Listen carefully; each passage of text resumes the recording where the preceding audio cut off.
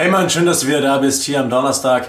Das könnte möglicherweise das letzte Video sein, das du auf meinem Channel guckst, denn jetzt wird es ein bisschen provokant, jetzt wird es ein bisschen anders. Ich habe mal so ein Video in dieser Art schon mal auf dem Flirt-Profis Channel damals gemacht und da auch ein bisschen aktiv provoziert.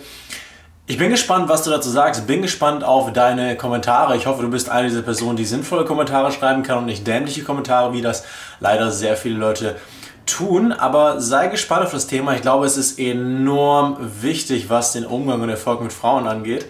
Und äh, ja, ich bin hier immer noch in meiner Heimat. Ich habe ja jetzt das Problem gehabt mit dem Ton, wo ihr alle nichts hören konntet. Diese Videos könnt ihr übrigens auf eurem Desktop oder auf eurem Laptop mit Ton gucken. Irgendwas scheint bei der Smartphone-Version nicht richtig gelaufen zu sein. Deswegen heute hier ohne Mikrofon, sondern mit dem Sound der Kamera, was nicht ganz optimal ist, aber du wirst mich auf jeden Fall hören. Ich bin leider jetzt noch ähm, in meiner Heimat, habe ähm, mein Equipment, habe Teile meines Equipments vergessen. Das ist der Grund, warum du jetzt diese Videos bekommst.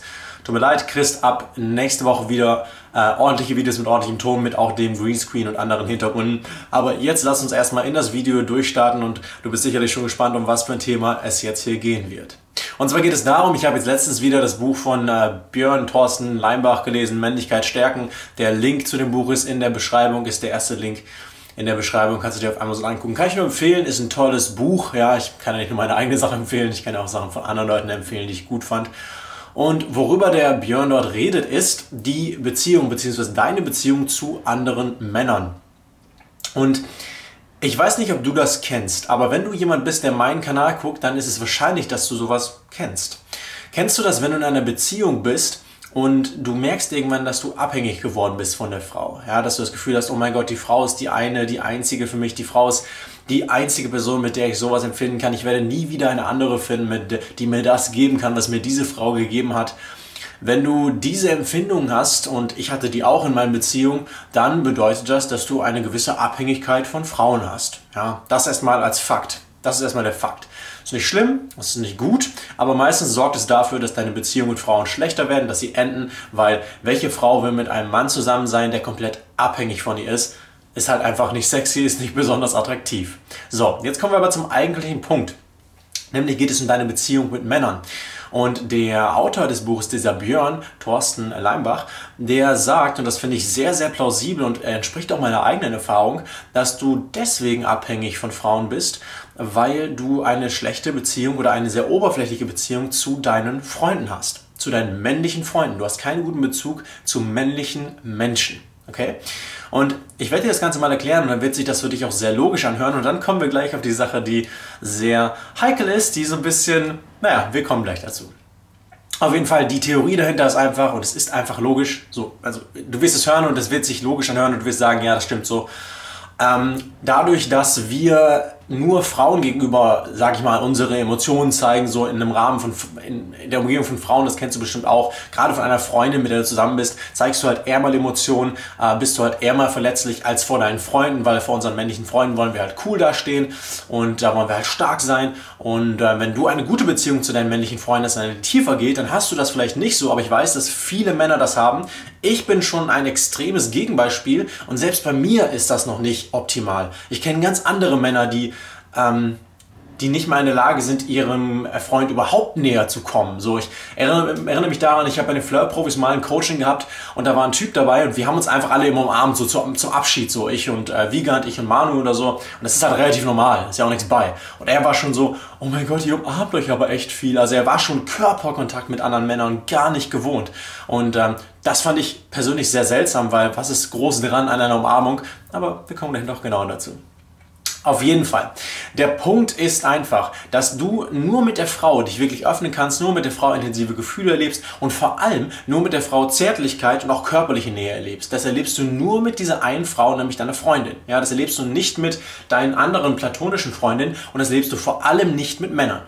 Das bedeutet aber im Umkehrschluss, dass du abhängig von der Frau bist. Also es ist ganz logisch, dass du abhängig von der Frau bist. Angenommen, du willst einen Cheeseburger essen gehen und du gehst zu Burger King und Burger King sagt dir, unser Cheeseburger kostet 500 Euro. So, und jetzt denkst du dir, scheiße, ich will keine 500 Euro bezahlen, aber in dieser Welt, von der wir gerade reden, gibt es kein McDonalds und gibt es keinen einzigen anderen Burgerladen. Ja, dann zahlst du entweder 500 Euro oder du bekommst halt keinen Cheeseburger. Ja, aber in einer Welt, wo es ganz viele andere Läden gibt, kannst du auch zu McDonalds gehen und für 1 Euro einen Cheeseburger kaufen. Also es ist ein ganz einfaches, ähm, wie heißt das, ist ja so ein bisschen, äh, wirtschaftliches Prinzip, ähm, ähm, Nachfrage und Bedarf und Nachfrage, du weißt genau, was ich meine. Es ist ein ganz einfaches Bedarf- und Nachfrageprinzip, nämlich ähm, die Frau ist die einzige meistens in den Leben fast aller Männer da draußen, und das war in meinem Leben auch so, mit der du Zärtlichkeit teilen kannst, mit der du Nähe teilst, ist fast die einzige Person. Ja, und je tiefer die Beziehung wird, desto intensiver wird das natürlich, desto mehr öffnest du dich ihr. Und du, das ist die einzige Person, der du dich so weit öffnest. Und dann ist es ja klar, dass du abhängig von dieser Frau wirst. Denn das ist ja die einzige Person, mit der du das erleben kannst. Und ja, auch wenn du ein krasser, harter Mann bist, dann wird es dir trotzdem auch so gehen, dass du einfach Connection zu Leuten haben willst. Du willst Zärtlichkeit, du willst Nähe. Das ist ja ganz normal. Das ist ja ein normales menschliches Bedürfnis. Das Problem ist halt, dass du dann abhängig bist, wenn du es nur mit einer Frau hast. Und deswegen sagt der Björn Thorsten Leinbach, heißt er glaube ich, dass wir unsere Beziehung zu Männern verbessern müssen. Und das ist absolut richtig. Ja. Und das fängt erstmal da an und da sind die meisten Leute gehen dann noch konform mit mir und anderen Menschen. Fängt erstmal da an, dass wir auf jeden Fall die Beziehung, die wir zu unseren Freunden haben, so ein bisschen mehr von dieser oberflächlichen Ebene runterholen müssen. Diesen, hey, yo, ich habe sie am Wochenende flachgelegt und dann habe ich sie sich dreimal gekommen und ich bin ihr ins Gesicht gespritzt und so. Alles cool, kann man ja machen. Ja, bin ich auch kein Gegner von, mag ich auch gerne. Und ähm, ja, genau. Aber der Punkt ist einfach, fang mal an, dich mit deinen Männerfreunden über andere Dinge zu unterhalten. Ja, über, keine Ahnung, red mal darüber, wie es dir geht. So, weißt du, wenn es dir schlecht geht, dann gehe ich zu deiner Freundin. Wenn es dir schlecht geht, geh zu deinem Kumpel. Ja, willst du deine Freundin die ganze Zeit voll heulen? Nein. Geh zu deinem Kumpel, dafür ist er doch dein Kumpel. So, und dann kann er auch zu dir kommen, wenn es ihm schlecht geht. Ja, deswegen sind Frauen nicht so abhängig. Deswegen ist es für Frauen nicht so schwierig, nach einer Trennung wieder aufs Pferd zu kommen, sozusagen. Die gehen einfach zu ihren Freundinnen und holen sich da aus, weil das für die normal ist. Ja, aber wir machen das nicht. Wir Männer machen das nicht. Ja, wir machen das deswegen nicht, weil das in unserer Gesellschaft nicht anerkannt ist, weil du schwul bist oder was auch immer, wenn du sowas machst. Es ist so dumm. Also es ist so unfassbar dumm. So dieser Typ, den wir da im Coaching hatten, der konnte keine anderen Männer zum Abschied umarmen, weil er dachte, er ist dann schwul. Es ist so dumm. Ich kann ja ausdrücken, wie dumm das ist. So, wenn du jetzt an einem Punkt bist, wo du dir denkst, oh mein Gott, auf irgendeine Weise enger mit anderen Männern zu werden, dann bin ich auf jeden Fall schwul, dann ist das einfach nur ein Zeichen dafür, dass du mit deiner eigenen Sexualität noch überhaupt nicht in Ordnung bist. Überhaupt nicht. Überhaupt nicht. So, ich hatte Dreier mit anderen mit, mit, Männern zusammen, also mit Freunden, also ich und ein Freund und eine andere Frau. Und ja, da kommt man sich auch mal näher so als Mann. Das bleibt halt nicht aus, wenn man zusammen einen Dreier hat. So, aber in dem Moment, wo ich halt so bin, oh nein, bin ich jetzt schwul, heißt es halt einfach nur, dass du einfach überhaupt keine Ahnung von deiner eigenen Sexualität hast. Denn hättest du Ahnung von deiner eigenen Sexualität, dann müsstest du dir ja keine Sorgen mehr darum machen, dass du vielleicht schwul bist. Wenn ich genau weiß, ich bin nicht schwul, dann kann ich auch einen anderen Mann berühren, ohne gleich einen Schreikrampf zu kriegen. Weißt du, das ist der Punkt. Das heißt, wenn du so merkst, du hast extrem so homophobe Probleme, dann bist du entweder sehr gesellschaftlich geprägt oder du bist sehr unsicher, was deine Sexualität angeht. Das mal als die Aussage. Das heißt, es geht erstmal darum, wenn du unabhängiger von Frauen werden willst, tiefere Verbindung zu deinen Freunden aufzubauen. Wenn es dir emotional schlecht geht, dann klar, ich mache das auch meistens mit mir selbst aus. Aber geh mal zu deinen Freunden. Sag mal, hey, es geht mir scheiße. Sei mal schwach vor deinen Freunden. Schwach sein zu können, ist wahre Stärke. Das muss ich dir wahrscheinlich nicht erklären. Wenn du die ganze Zeit auf Zwang stark sein musst, dann ist das einfach nur Schwäche. Wenn du stark, aber auch schwach sein kannst und zu beiden Zuständen stehen kannst, dann ist das wahre Stärke. Ja, schreib mir gerne mal in die Kommentare, ob das bis jetzt hier für dich Sinn ergeben hat. Okay. Also einfach deinen Freunden dich näher, mehr annähern, äh, deinen Freunden nochmal sagen, hey, guck mal, du bist mir voll wichtig, voll cool, dass du in meinem Leben bist, so ich hab dich echt gern, ich hab dich echt lieb, so was auch immer. So, es ist nicht schwul, das ist einfach nur Wertschätzung. Das ist einfach nur Wertschätzung gegenüber wichtigen Personen. Das drückst du ja auch gegenüber deiner Familie aus, gegenüber deiner Freundin. Warum drückst du das nicht gegenüber deinen Freunden aus? Das ist, was ist das für ein Schwachsinn?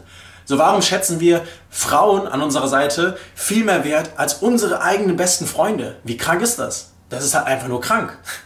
Ja, das ist einfach nur, weil wir hier so darauf konditioniert sind, dass alles, was mit Männern und Nähe zu tun hat, einfach nur schwul ist. Und das ist so dumm. Ja, du machst dich so unfassbar abhängig von Frauen durch diese Sichtweise. Deswegen überleg einfach mal selbst, ähm, ja, wie ist das so bei mir? Wie ist so meine Beziehung zu anderen Männern? Kann ich da was machen? Und äh, dann verbessere die einfach mal. Schreib mal deinen besten Kumpel, ruf ihn mal an und sag ihm mal, wie wichtig er dir ist in deinem Leben. So, lass ihn das mal wissen. Er freut sich doch. Du würdest dich doch auch freuen. Ja? Und da hast du die Möglichkeit, mit deinen Freunden eine viel bessere Beziehung zu bekommen mit deinen besten Freunden. Und wenn du das machst, wenn du das schaffst, dann brauchst du auch Frauen gar nicht mehr so unbedingt. Dann ist es auch okay, wenn die Frau mal gerade einen emotionalen Anfall hat und du nicht weißt, ob ihr noch zusammen sein werdet danach. Weil du, du warum, mach, warum musst dir keinen Stress machen? Du hast ja Leute, denen du dich öffnen kannst. Die Frau ist nicht mehr die Einzige, die dir diese Ware liefern kann, sondern du hast ja auch die anderen, deine Kumpels. Ja? So, jetzt kommen wir zu der Sache, die ein bisschen heikel ist und ich, das musst du nicht machen, aber du kannst es machen. Ähm, und zwar ist es so, dass ich persönlich mit einem Kumpel von mir manchmal auch kuschle. So, weißt du, manchmal legen wir uns so im Arm und dann streichen wir uns so ein bisschen. Einfach so Zärtlichkeit, sage ich mal. Und ich muss sagen, das war am Anfang für mich nicht leicht. Es ist auch nicht leicht, das jetzt zu erzählen. Und daran merke ich auch, wie tief so diese Verankerung sitzt, so, oh mein Gott, ja, das ist ja so schwul. Und es ist halt so ein Quatsch. So, ich, ich schlafe nicht mit dem Dude, so, ich möchte den auch nicht küssen oder so. Oh. So, da, das, das, das muss ich nicht haben, so, das tört mich nicht an. So, überhaupt nicht. Aber darüber hinaus finde ich es ehrlich gesagt komisch, dass man mit solchen Menschen oder dass man so Angst vor körperlicher Nähe vor anderen Männern hat. Das ist einfach komisch. Das ist einfach irgendwie nicht richtig. So, wenn ich mir andere Kulturen ansehe, wie zum Beispiel in Indien ist es zum Beispiel so, ähm, dass Männer auch so Hand in Hand gehen auf der Straße. Das ist ganz normal da. Wenn du das hier sehen würdest, würdest du denken, Alter, die sind schwul. In Indien ist das normal. Ja, oder äh, Türkei, da ist es ja oft so, dass man sich so mit Backenküssen begrüßt. Wenn das Männer hier machen werden, würden, wären sie schwul. So, ist einfach die kulturelle ähm, Prägung, die verhindert, dass du diese Ressourcen, Zuneigung, Nähe und enge Beziehung auch von Männern bekommen kannst. Das ist halt dumm. So, und ja, wir kuscheln halt manchmal so und das ist auch, ehrlich gesagt, ganz angenehm. So, weil es ist einfach eine Person, die ich gerne mag und der ich vertraue sozusagen und andersrum und vice versa. Ist ja nichts anderes wie mit einer Frau. Ja, das heißt, du musst jetzt nicht anfangen mit deinen Freunden zu kuscheln, das ist nicht das, was ich dir empfehle. Aber ehrlich gesagt, finde ich das sehr, sehr hilfreich. Und das Einzige, was ich hier mit diesem Video bezwecken möchte, ist einfach dir mal einen Denkanstoß zu geben und dich mal zu fragen, hey, guck mal, wie ist die Beziehung zu deinen Freunden? Ist die oberflächlich oder ist die, hat die auch Tiefe? Und wenn du merkst, dass du abhängig von Frauen bist, dann frag dich mal wirklich, wie deine Beziehung zu den männlichen Freunden, die du hast, ist. Oder hast du vielleicht gar keine männlichen Freunde? Das kann ja auch sein. Dann besorg dir welche. Ja, äh, geh auf Meetups oder geh irgendwo hin, wo Leute Sachen machen, die du auch machst lerne da Leute kennen, die gleiche Interessen haben wie du. Das ist ganz wichtig. So, ähm, ich weiß, das ist ein heikles Thema und es ist auch für mich heikel, das jetzt anzusprechen, aber ich würde euch auch die Sachen mitgeben, die sinnvoll sind. Deswegen, das Buch kann ich euch auf jeden Fall empfehlen, ist hier in der ersten, im ersten Link in der Beschreibung.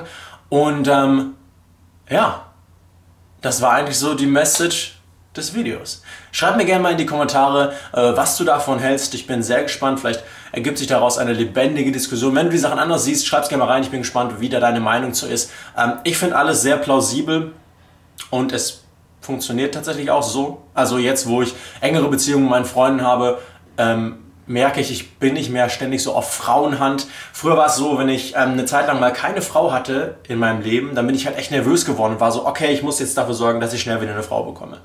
Und äh, es ist halt krasse Abhängigkeit. Und ich habe keinen Bock, abhängig zu sein von Frauen. Ja? Und das führt auch nicht zu guten Beziehungen. Das führt auch nicht dazu, dass Frauen auf dich stehen. Ja, und die spüren ja auch diese Abhängigkeit. Ja, wenn du voll abhängig von Frauen bist, weil sie die einzigen sind, die dir irgendwas geben können, das wird deine Erfolg mit Frauen ruinieren.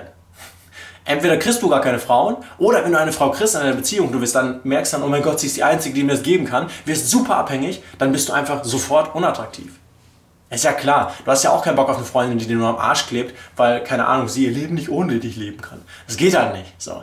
Und ähm, ich glaube, das ist ein sehr guter Weg, ein sehr gesunder Weg und auch ein sehr schöner Weg, diese Abhängigkeit loszuwerden. Und gleichzeitig noch die Beziehung zu deinen Freunden zu stärken. Wie gesagt, das mit diesem körperlichen Kontakt, das ist kein Muss, glaube ich. Ähm, ich fand es interessant, das auszuprobieren. Aber diese anderen Sachen, denke ich, solltest du auf jeden Fall tun. Also eine engere Verbindung zu deinen Freunden aufbauen, deinen Freunden wirklich sagen, hey, pass auf, du bist eine wichtige Person in meinem Leben und einfach mehr Wertschätzung deinen Freunden gegenüber, mit Problemen zu deinen Freunden gehen. Und ähm, ja, ich denke, da werden sich viele deiner weiblichen Pro äh, Probleme auch in Luft auflösen. Es gibt auch Trainer, es gibt wirklich Trainer, die sich auf diese Sachen spezialisieren. Ich will da jetzt nichts vorwegnehmen, mir hat da mal jemand was erzählt, die sich auf solche Sachen spezialisieren, auf Beziehungen zwischen Männern, die zu stärken, um halt ähm, Probleme mit Frauen zu bekämpfen. Und es scheint unglaublich gut zu funktionieren und ich kann mir sehr gut vorstellen, dass das funktioniert. Ähm, Genau, das war alles, was ich zu diesem Thema sagen wollte. Schön, dass du dabei warst hier am Donnerstag. Du kannst dir noch mein, äh, was habe ich denn jetzt gerade drin? Puh, mein gratis E-Book, die drei äh, mächtigsten Anziehungsschalter runterladen. Das ist hier unten in der Ecke. Da kannst du abonnieren. Da geht es zum letzten Video auf diesem Channel. Wir sehen uns am Samstag wieder. Schön, dass du dabei warst zu diesem etwas kontroverseren Video. Ich bin super gespannt auf die Kommentare. Äh, ich freue mich drauf, dumme Kommentare zu löschen und äh, mit den anderen Leuten zu diskutieren. Cool, dass du dabei warst. Wir sehen uns am Samstag wieder. Bis dahin, ciao.